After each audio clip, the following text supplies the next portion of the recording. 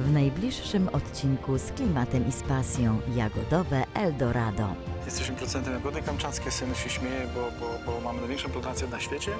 Jesteśmy wariatem jagodowym. Z klimatem i z pasją. Niedziela Polsat News 16.30.